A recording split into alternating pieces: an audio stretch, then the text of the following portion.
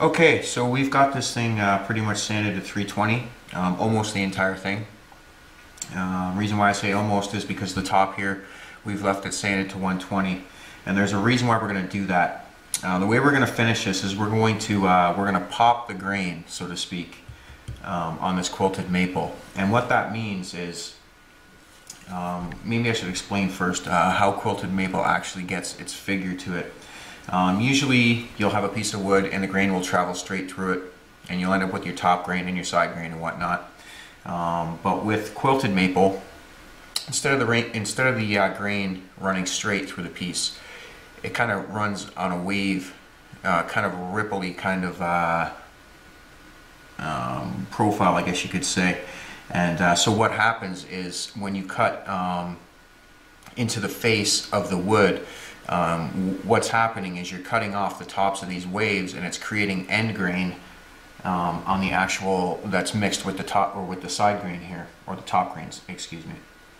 So it's these parts with the end grain that um, kind of give it um, you know when you when you put a finish on it uh, kind of the deeper parts or whatever um, is the end grain uh, taking on more of the finish than the uh, than the top grain is so, uh, you know, we've all been uh, in areas where, you know, trying to stain a piece of uh, any kind of wood or whatever, and you get to the end grain and it always takes on stain much more readily because of the open pore structure of it. Well, we're going to take that, uh, we're going to take advantage of that in this situation. And what we're going to do um, is we're going to go with a dark stain over top of this and then we're going to sand it back. Whenever we sand it back, um, the stain will will sand out of the top grain uh, much easier than it will sand out of this uh, end grain that's sticking up here. So what we'll be left with is just the dark stain in, in the end grain parts and, and uh, what you do is you do a couple coats of that and get that nice and dark and then you go over the entire thing with your color and get your color right and uh, it, it, it, uh, it enhances the grain uh, or pops it so to speak as some people call it. gives it a really nice effect, a really um, gives it a really deep contrast between um, black and whatever your color is going to be. In this circumstance, is going to be red, so it'll be a nice red and black kind of, um, you know, kind of a wavy type of surface. so what I've done is um, I've put I've, I've coated some of these areas with epoxy. These areas where I absolutely do, do not want to get any of the stain here because um, this is going to be uh, finished clear, same as the back. We might do like a red toner coat, but as it stands right now, we want to seal it out uh, just in the completely natural finish. So I've done that here, and I've also done it on the bindings on the headstock. Um, because whenever we go to do the headstock, we're doing a matching headstock for the body here, so we'll be doing the same uh, staining process, and we don't want to get any of that on the bindings that are already installed. So what I did is I actually did epoxy on the bindings, and then I've also, um, if you can see here, I've also masked them off um, just as a double precaution to make sure we, do, we don't want to get any stain on these uh, bindings at all. So I've kind of double sealed them out uh, so that doesn't happen. Okay, so our first step here, what I've done is I've uh, mixed up some of this uh, liquid stain here, and it's just a water-based liquid stain. Uh, the ColorTone stuff and this stuff uh, works very well you use it very sparingly um, I've got I believe it's I don't know, maybe a one ounce container here. And uh, I just, you know, filled that one ounce container up with water and added about six drops of that stuff and it is like jet black. So that's exactly what we want. We That's what we're going for. Uh, the darker the better for this. We got our glove here and all we're gonna do is you can, you'll notice here that I've got the neck all uh, protected anywhere. Anywhere that you don't want any of the stain to be, make sure that you mask it off and be careful around those areas. So we're just gonna use a rag here. We're gonna dip it in here. And we're just gonna start in an area. We don't wanna start around the edges. We wanna start in a wide open area here. Kind of just work this around. Looks like I might have to, uh, so we might have to go for a little more uh, stain in this. That doesn't quite look as dark as I want it. So, it's the beauty thing of this stuff is uh, you can just keep adding more if it's not dark enough. So we just want to work this around. Sticking to the areas along the insides and stuff. It's getting pretty windy up there. And this is a really nice dark stain. So when we sand this back, we may only have to do one application of this. Sometimes I won't do it as strong as this and I'll do, you know, uh, a few applications.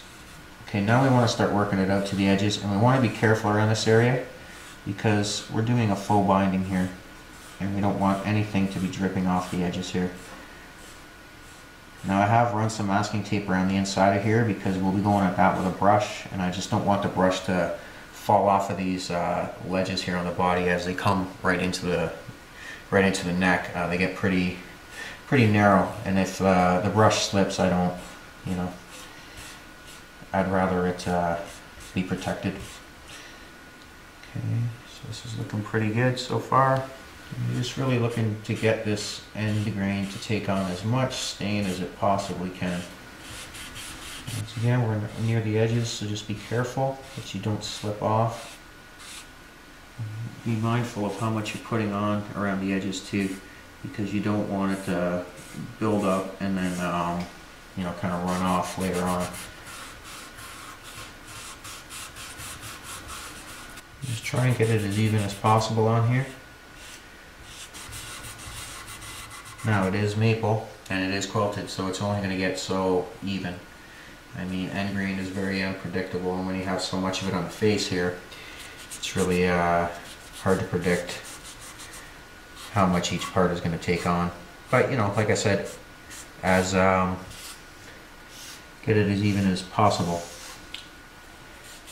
And then we'll go back and sand it off. We'll just uh, kind of sand it accordingly if we need to take some more off or if we need to make a part more a little more dominant then we can always do that uh, with sanding. I'm gonna go get my brush. Okay, we got our brush here. And using the same principle, we're just gonna start kind of outside the line and work our way in. Just so that we're nice and careful around these edges here. That looks pretty good. This doesn't have to be a great brush, as you can see. I have bristles falling out all over the place with this one, but uh, doesn't matter because they stay on the surface and then after this is dry we'll just wipe those away.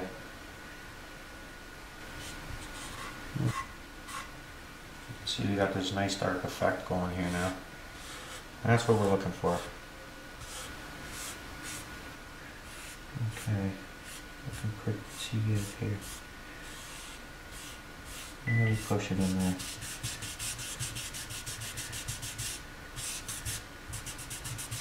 And the more you work away at this, the more down in the pores it'll get, and the more effective this uh, technique will be. It's looking pretty good. Okay, we're gonna let that dry. We're gonna do the headstock, and we'll let them both dry, and then uh, we'll sand it back and have a look and see what it looks like. Okay, so our stain's dry on here. Um, easy way to tell if uh, water-based stain is dry is if it doesn't feel cool to the touch, uh, pretty much means that it's uh, dry and ready to work with. So all we're going to do now is uh, all the stain that we've put on the body, we're actually to start to take off now. And we're just using um, 220 sandpaper in a uh, sanding block. And we're just going to work back and forth here. And what we're trying to do we're trying to sand most of this off,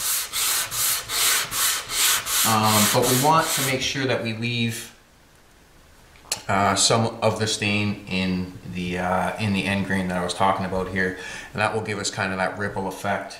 Um, it'll take probably a little bit to get down to where you want it to, uh, especially doing it manually like this. Some guys will use a random orbital sander for this.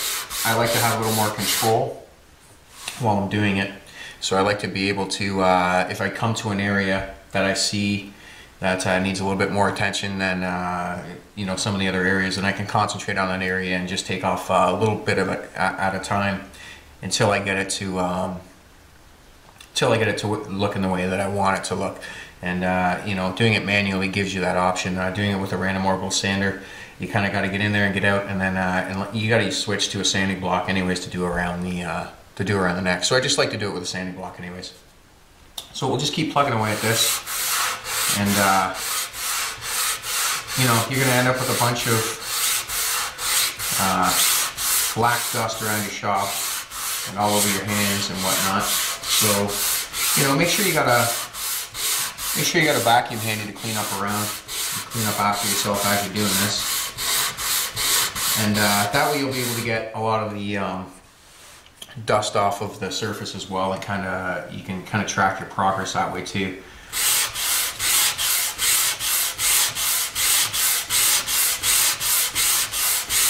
Work away at it. You can see it's starting to come off now. We're starting to see the light parts and the distinction between the light parts and the dark parts here. I'll try and just get one area here to what you kind of generally want, and then uh, I'll be able to give give you an idea of uh, what we're looking for, basically, um, in terms of uh, saturation for the dark here. Keep sanding at this. And it's, I see this is a good thing about doing it with a sanding block is that I know that I've already kind of come down to where I want to be right around here. So I can, you know, I can stay away from that area and just kind of work my other areas around to, to uh, you know, to kind of match up with um, with uh, the depth of the of the uh, dark wood we have here.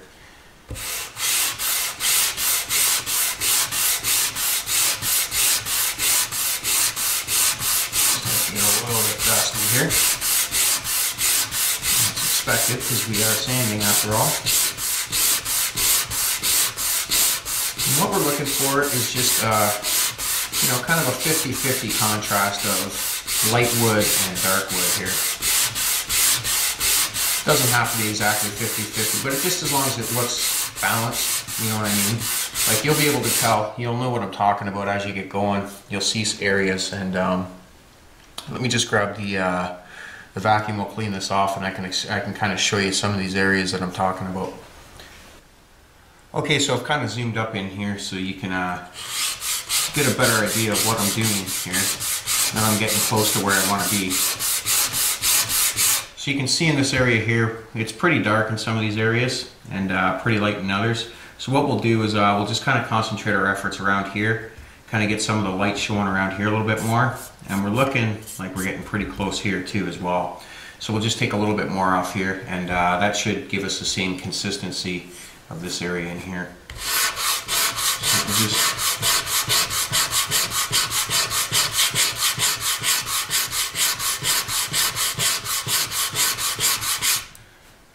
you know, it's a fine line to, uh, you know, having too much dark on here and not having enough. So you really gotta kind of, you know, do a few strokes, kind of uh, clean it up a little bit, and uh, have a look and see where you're where you're at with uh, progress wise. Another thing you can do is you can take a little bit of naphtha and you can wipe this down. Um, I would recommend getting most of the uh, most of the stain off of there first before you start doing things like that because it can uh, reactivate this stain and kind of pull it into the lighter areas. So you want to be careful of that. You want to make sure you get the majority of the stain off before you go doing that. That's just kind of to give you a quick wipe uh, and make it a you know a, a, a, kind of a don't don't make don't saturate the cloth with naphtha just uh, enough to moisten it and then uh, just give it a quick wipe so that it evaporates fast and uh, doesn't you know smear any of this smear any of the stain where you don't want it. Okay, so we, we pretty much got this area looking pretty good and we're just going to concentrate over here now. Doing a few strokes at a time. And what we're looking for is these areas that are starting to come light, we want them to get as white as possible.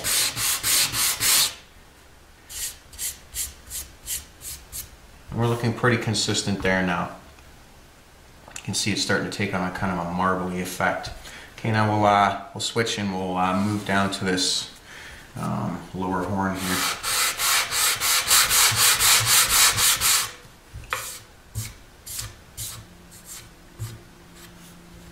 Okay, now you'll see here, we're starting to get to where we want to be as well. And we are going to do a few coats of this. Uh, so, you know, after we get this all sanded down and everything, we're going to coat it again with the black. Um, usually I do two or three coats.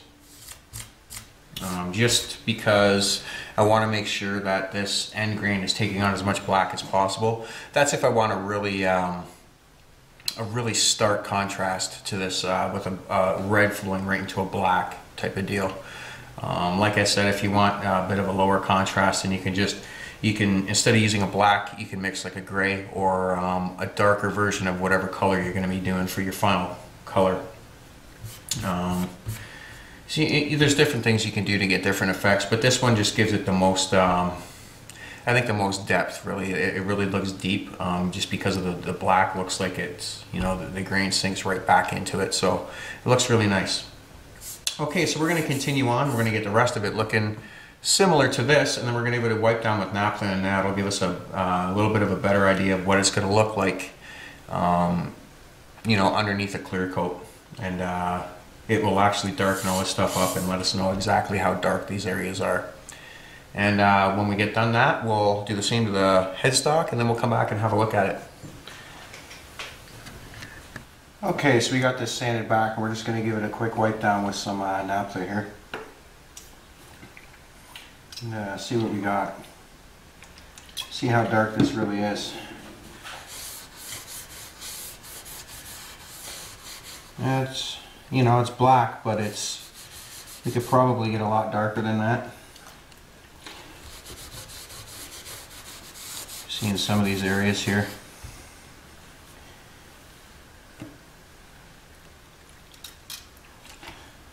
there's a little bit more that we could possibly, uh, you know, these could probably take on a lot more steam. So this is just going to give us a basic idea though where we're at.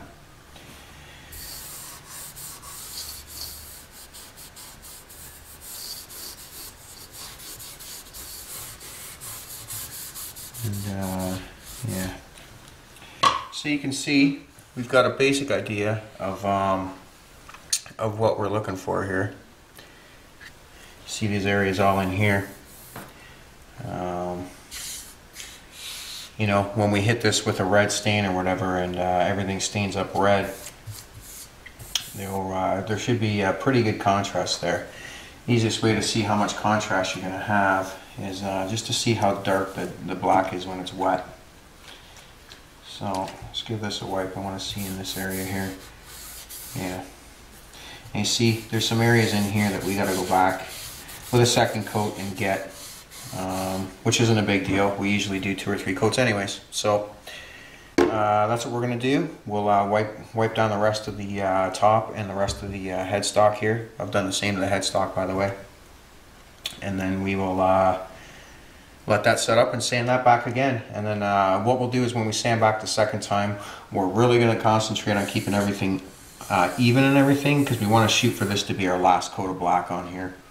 Um, and then we'll, uh, once we get that sanded back, we'll be able to put some color on here. Should look pretty nice.